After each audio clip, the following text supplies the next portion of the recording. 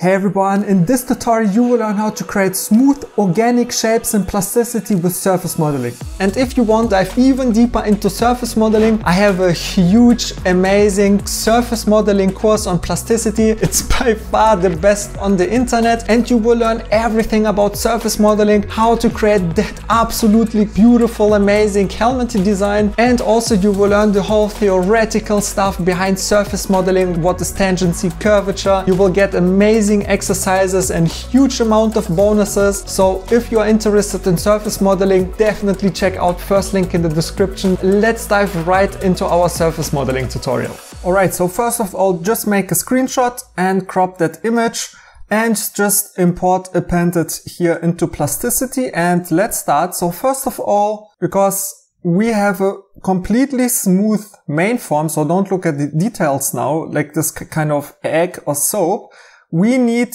everywhere tangency and continuity. So we could create it here with curves and all that stuff, but in this example, it's simpler if you just create a line from this endpoint with shift A and this endpoint, because now we can just take those points and loft them and you see we perfectly get the shape here and also because here we have G2 on this points and then later when we will symmetry it over, we will have tangency and curvature and everything will be smooth. And if you're wondering, like, what does all those words mean? It's confusing. What is this? So for that, I have created for you a PDF where I explain the absolute essentials of surface modeling, G1, G2, continuity, curvature, and everything what that means. So feel free to check out first link in the description. Here we have now this uh, G2 curve. So press OK. And the same we have to do on the side, obvious, uh, on the side, obviously, to give it some volume. So first of all, let's delete those curves. And again, create two lines, Shift A, and this time snap to those points. And just go here to the right view, snap them down, but you don't have to. So shift A, go to this point and just snap, snap that here on the binormal Z it's, it, it was called. Perfect. So we have to do the same. And let me hide this. And we have to hide this curve for a second so we can select just those points. And let's go to the side view and press L. And here you see they are definitely a little bit too crazy here. So just press D. So let's tap tap and go with G1. This will be fine here. And here we can adjust the tension. So press D and just to make it a little bit flatter, right click and also shift S. I want one more point here in the middle because I want just this point and just make it even more flatter. So press OK, press Alt H to bring everything back. Oh, and by the way, also with this PDF, you will get all shortcuts of plasticity. So you have everything what you need in one place. Delete those curves here. And now we can give it a volume. And we are just working on one quarter because we will just mirror it over. But maybe someone is thinking, all right, let's just loft that. But then you see we don't get exactly what we want. That's why we have to do now some stuff and that's super important to get the main form uh, right because then we can add all of those details. We have to extrude because a curvature can't, don't has a information about curvature and tangency, right? We need an edge. So for that, uh, select the curve, extrude it with E and do the same here for this one because let me explain it. So first of all, we can hide those curves because now we can use those edges to loft them. So if you select them and press L, voila, you see we can give it here G0 or G1 and, and, and all that kind of stuff. And you see it's smoothly connected.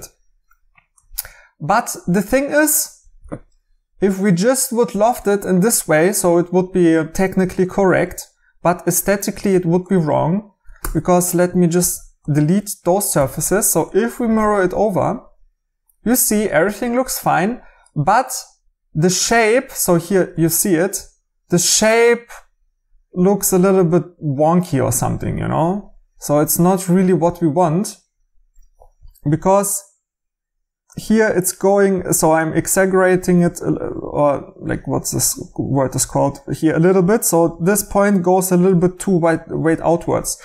To, so that means we have to go back a little bit till we loft it because we can do something very cool.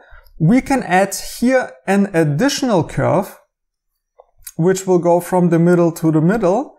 And this curve we can build as much, um, so um, as sharp as we want. So we can make something very smooth or something very sharp and just tell some information how the loft should go. So for that, we need here two extra edges. So select with face mode this face, control R for isoparam.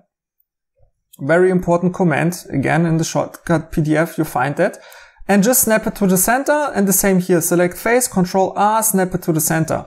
You see, we have two extra edges. Shift B now, or for you it is, if you search for bridge, edge, this is the, I think this is the most important command in surface modeling. I have it on Shift B because it's fast. So I will just press Shift B, bam. And that looks fine. And if you press now one, we see the points and G2 is fine here. So let's adjust that. If we go to the front view again, we can just press D. And here you see we can reduce now the tension a little bit to something like that. And now you see we have a very smooth curve here. So what we can do now is we can loft that again, select those two edges, shift those two edges, loft. And first of all, you see this curve is a little bit too strong. So what we have now, the surface. So if we press shift and add this edge here, bam, you see, we push our surface into this guiding line and that will make everything much more aesthetically pleasing. So delete this curve for now and those surfaces. And now if we mirror it over and press OK, you see now we have a soap-like very smooth shape and you see everything looks very smooth. So yes, we could improve that here a little bit, but that is absolutely fine for now. And we can start with our details. So let's go here to the top. And first of all, so you, you can use the reference image, but I don't need, it's pretty simple. We have to cut this surface. So in like in a shape like that, because this here will be the same as is. So everything is smooth. But here in the middle, we will create those lines here. And here we will get this um, things which go inside. So right, what I told you. So here it's everything smooth, right? But here we have those lines and then in those lines we have those curves inside. So let's do that pretty simple. Let's just create here a circle and just snap it here. Something yeah, very simple. So something like that. And now a, a curve, take the control point curve. I have it on shift F and go to this point and drag it out on the x-axis. This has to be tangent, uh, tangent again. So let's just drag and make something very simple. So here can, you can obviously spend much more time and just play around. But yeah, just for now, something very simple. And take all of those curves here, G, bring them to the top, press S and just scale them on and just press S and just scale them here on the Z axis and make the Z value zero.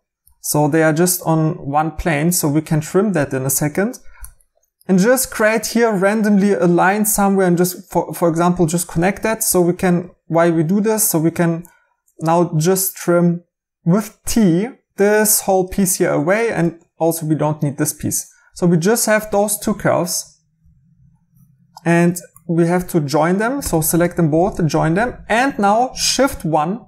Again, you can search for F and imprint super important in surface modeling, but I just have it on shift one. And basically you can search for imprint, and then right click and here, um, add, uh, create shortcut or something and just press shift one.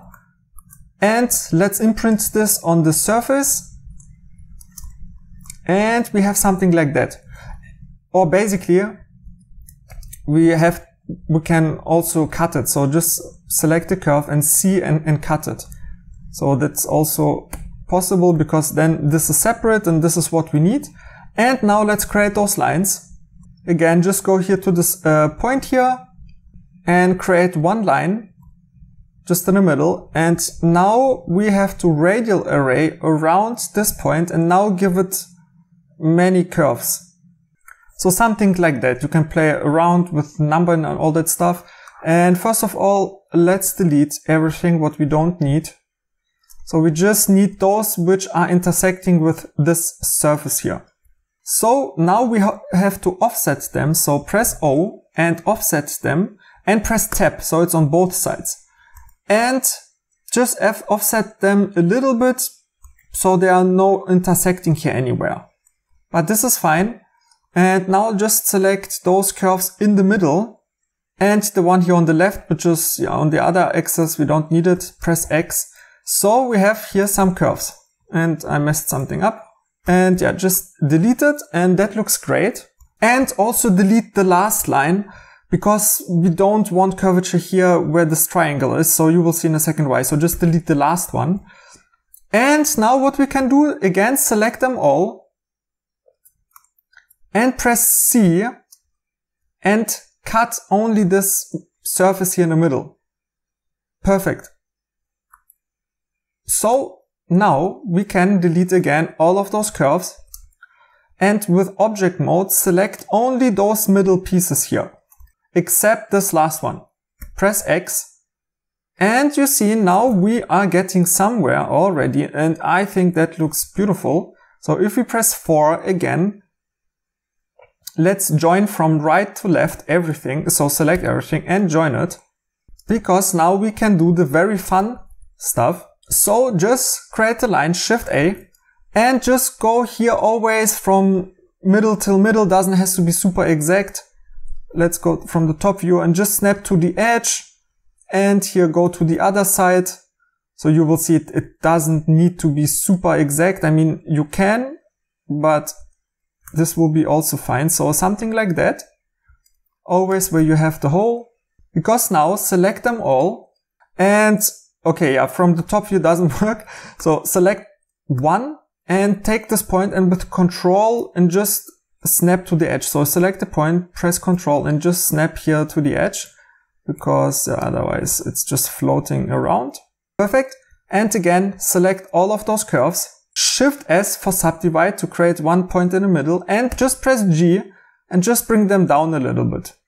You can again adjust them here in the middle, maybe make them, bring them down a little bit uh, stronger. So maybe let's just select those, bring them a tiny bit up. And now, super simple, just press 2 and select this edge, shift curve and this edge and L to loft it.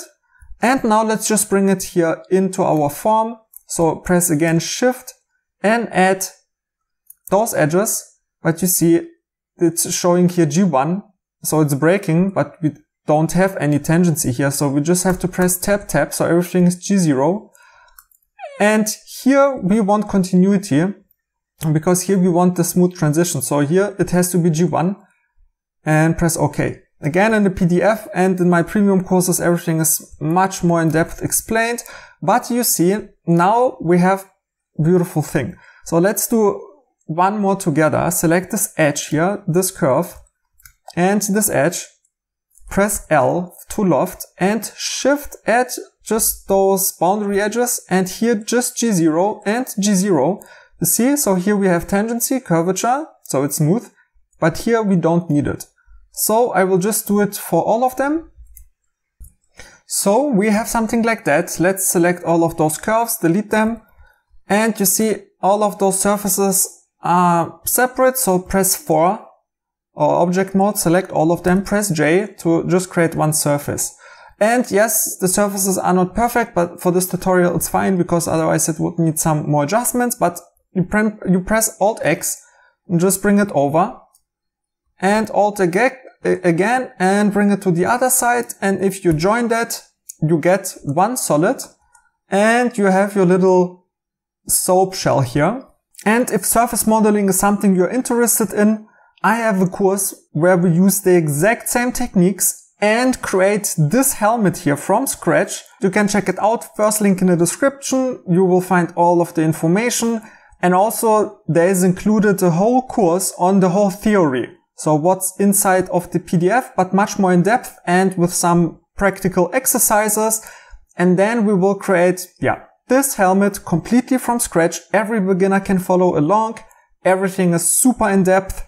So here are also some students results and some testimonials. You can check them out. Really fun techniques. So check it out and I hope I can see you in the next one. Bye.